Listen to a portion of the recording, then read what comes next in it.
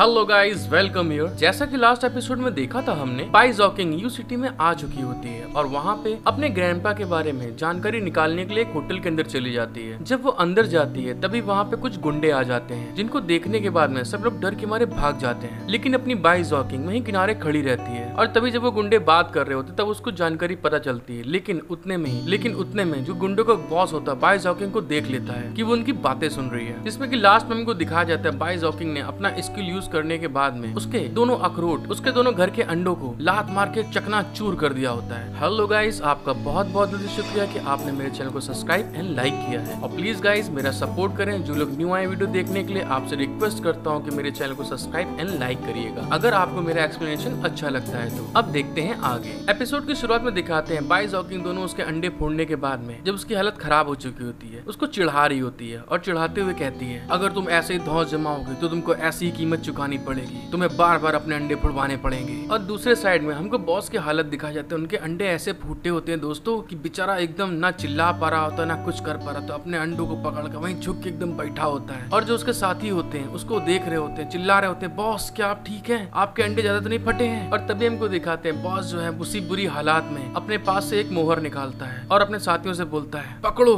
उसे पकड़ो। वो कहाँ गई है? जल्दी पकड़ो उसको। उस मोहर को देखने के बाद में जो साथी होते हैं, सारे शॉक्ड हो जाते हैं और फिर हमको दिखाते हैं। उसके अंडों में इतना दर्द हो रहा होता है, इतना दर्द हो रहा था उसके पसीने छूट गए होते हैं। और तभी वो अपने उस मोहर को दिखाते हुए बोलता है, मैं उसको बहुत तड़पाना चाहता हूँ। जल्दी करो, उसको पकड़ के लाओ। फिर दोस्तों सीन चेंज हो जाता है और हमें कुछ समय बाद का सीन दिखाया जाता है। और हमको दिखाते हैं बाई जॉकिंग यू सिटी के अंदर भाग रही होती है उनसे बचने के लिए। और फिर हमको दिखाया जाता है बाई जॉकिंग उसी सड़क पे कहीं किनारे पहुँच जाती है और उस जगह पे किनारे पहुँच कर सोचती है, मैं केवल इसलिए बच पाई क्योंकि मैंने उस पर घात लगाकर हमला किया था। अब मैं क्या करूँ? कहाँ बच के जाऊँ? यही सोचते हुए बाइजॉकिंग आगे की तरफ़ जा रही होती, तभी दिखाते हैं, आगे की तरफ़ सोल्जर्स खड़े होते हैं। और बाइजॉकिंग उन सोल्जर को देख कर थोड़ा शॉक्ड हो जाती है। जब वो देखती है की वो सोल्जर है तो वो बहुत खुश हो जाती है और भाग कर उनकी तरफ़ जा रही होती है। वो भागते हुए चिल्ला रही होती है। मदद करो। कोई सिटी में मेरी हत्या करने की कोशिश कर रहा है प्लीज़ मेरी मदद करो। ये आवाज़ को सुनने के बाद सोल्जर उसकी तरफ़ देख रहे होते हैं। तभी हमको दिखाते हैं बाई जॉकिंग वैसे चिल्लाते चिल्लाते सोल्जर्स के पास पहुँच जाती है और उनके पास जाकर कहती है, ये बहुत अच्छा हुआ सर, आप लोग मुझे मिल गए। आप लोगों को आज न्याय की रक्षा करनी है। प्लीज़ मेरी हेल्प करें। बाई जॉकिंग ये बोल ही रही होती है, लेकिन तभी कुछ देख के एकदम से घबरा जाती है शॉक्ड हो जाती है और शॉक्ड होते हुए कहती है, आपको करना होगा।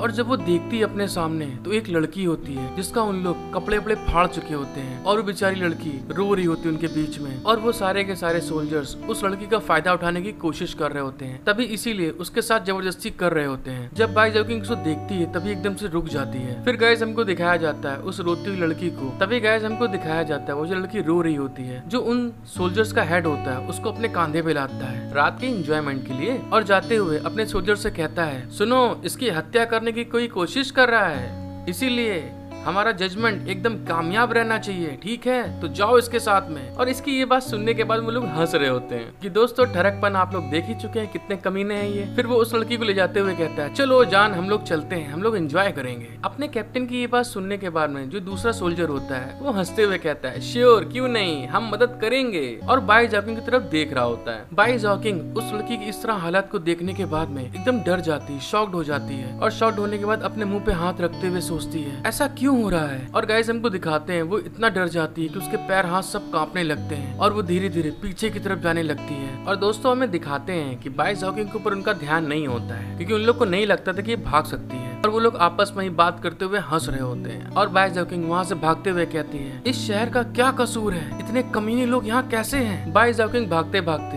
यू सिटी के गलियों में आ जाती है और वो अपने मन में सोचती है, ये यू सिटी इस सिटी की आत्मा तो बिल्कुल मर चुकी है। ऐसा लगता है कि ये बिल्कुल प्रकाशहीन हो चुकी है। और यही कहते हुए वो आगे की तरफ़ जा रही होती है। फिर हमको दिखाते हैं बाई जॉकिंग भागते भागते आगे की ओर बढ़ रही होती है और अपने मन में सोचती है, मेरे को किंगजाओ की बात को सुनने के लिए समय निकालना चाहिए था। मुझे यू सिटी ऐसे अकेले नहीं आना चाहिए था और ऐसे अपने आप को जोखिम में नहीं डालना चाहिए था। फिर गाइस हमको दिखाते हैं यू सिटी के ऐसे हालात को देखने के बाद में बाई जॉकिंग बहुत ज़्यादा रोने लगती है और रोते रोते भाग रही होती है और भागते हुए अपने मन में सोचती है, सच्चाई बिल्कुल वैसी नहीं है। उन कहानियों की तरह, उन किताबों की तरह मुझे सीखना चाहिए था, लेकिन अब मैं क्या करूँ? और सीन बदलता है और हमें दिखाया जाता है, बाई जॉकिंग भाग रही होती है। लेकिन तभी ऊपर छतों पे एक आदमी उसको देख रहा होता है ऐसे भागते हुए। और तभी हमें दिखाते हैं, वो जो आदमी ऊपर खड़ा होता है छत के ऊपर, वो अपनी फिंगर से एक अटैक करता है। और उसका अटैक इतना पावरफुल होता है दोस्तों की बाय जॉकिंग के पैर के आर पार निकल जाता है। जब बाय जॉकिंग भाग के जा रही होती है जिससे कि बाय जॉकिंग को बहुत ज़्यादा दर्द होता है। बाय जॉकिंग वहीं पे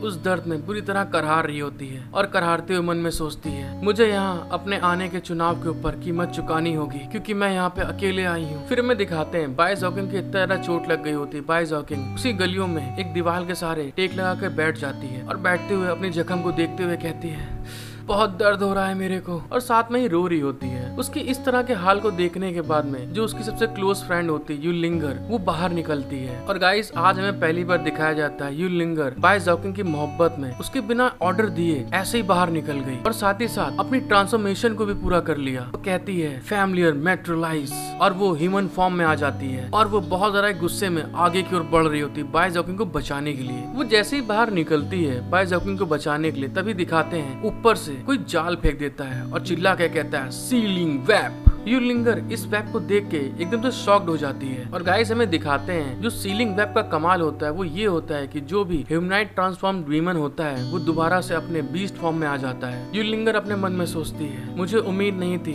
कि मेरे आसपास ऐसे लोगों के मुझे पकड़ने के लिए। और वहीं पे गुस्सा रही होती है। और तभी दोस्तों में दिखाया जाता है बाय ज़मीन के सामने से कोई मम्मी की तरीके चलता हुआ आ रहा होता है और चिल्ला के कहता है, तुम छोटी लड़की, कहाँ जा रही थी तुम? फिर कहता है, आपके पास भागने के लिए कोई जगह नहीं है। गाइस इसकी चाल से, चलने के अंदाज से आप समझ गए होंगे ये कौन है। अगर लड़के हैं तो फील समझ में आ गया होगा। जब घर के अंडे फूट जाते हैं तो चाल ऐसी हो जाती है। फिर उनको दिखाया जाता है, ये वही है जिसके घर के अंडे फूटे हुए थे। और वो बाइस हॉकिंग को इतना ज़्यादा जख्मी देखने के बाद में बहुत ज़्यादा हंस रहा होता है और हँसते हुए कहता है आपको आने वाले दिनों में मुझे खुश करने की कोशिश करनी चाहिए। आप भागने की कोशिश क्यों कर रही हैं? बाई जॉकिंग जब ये देखती है, वो बदमाश उसके पास आ रहा है। वो अपनी उसी चोट में उठने की कोशिश करते हुए कहती है, यह मेरी अपनी गलती है। मैं इस बात की हकदार हूँ और आज जो भी अंत होगा, मैं इसका इंतज़ार कर रही हूँ। और दोस्तों, हमें दिखाते हैं बाई जॉकिंग। ये बोलने के साथ में बहुत ज़्यादा रो रही होती है और तभी रोते हुए कहती है, लेकिन मेरे मरने के बाद में सेंट्रल स्टेट से चैन वूजिन आएगा तुम लोगों से बदला लेने के लिए मेरा। और हमें दिखाते हैं, बाई जॉकिंग ये बात बोली रही होती तभी उतने में वो आदमी जब आगे की ओर आ रहा होता है वो युलिंगर के पेट के ऊपर पैर रख के आगे की ओर बढ़ रहा होता है। युलिंगर दर्द के मारे वहाँ पे बहुत चिल्ला रही होती है। फिर हमको दिखाते हैं, वो बाई जॉकिंग के पास आ जाता है और पास आने के बाद में एक्टिंग करते हुए बोलता है। ओ मैं तो डर गया। मैं तो बहुत डर गया तुम्हारी धमकी से आज। देखो, मैं तो काँप रहा हूँ बुरी तरीके से। और ये कहने के साथ में ही वो यूलिंगर के ऊपर एक लात मारता है और युलिंगर उड़ते हुए जा रही होती है और तभी बाइजा किंग चिल्ला क्या कहती है, युलिंगर! और दोस्तों में दिखाया जाता है, युलिंगर के लात मारने के बाद में और जो पुराने टाइम पे कपड़े चलते थे, उसका बेल्ट खोलता है और बेल्ट खोलते हुए कहता है, अब तुम्हारे चैन वुजिन क्यों नहीं आ गए तुम्हें बचाने के लिए? उसकी इस हरकत को देखने के बाद में बाई जॉकिंग की तो एकदम होश उड़ जाते हैं। वो शॉक्ड हो जाती है।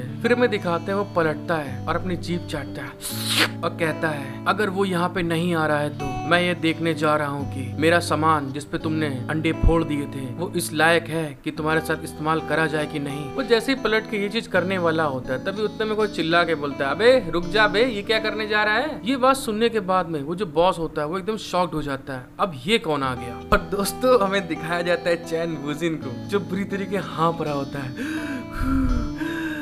रुक जाओ भाई, रुक जाओ रुक जाओ, सांस तो लेने दो पहले। और चैन वुजिन की इस तरह से, दोनों के दोनों देख रहे होते कि इसके हाल कितने बुरे हैं। फिर चैन वुजिन हाँपते हुए बोलता है